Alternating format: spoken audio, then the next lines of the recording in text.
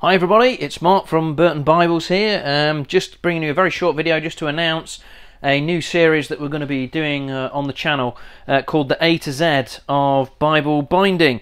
Um, I'm just going to do a short video um, going through the alphabet. We'll have one for each letter, and we're going to look at different things to do with Bible binding. So it'll be uh, common terms or expressions or processes or materials, all different things to do with Bibles and what makes them so special and so fantastic. Um, and we're going to look at that in a series called the A to Z of Bible binding here on the channel. So uh, stay tuned and hopefully you'll find this interesting. It will be just a little bit of fun, really.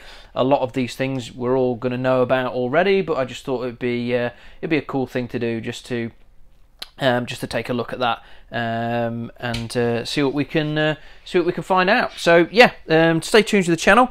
Uh, check us out on burtonbibles.com and uh, stay tuned for this little series. Speak to you soon. Bye.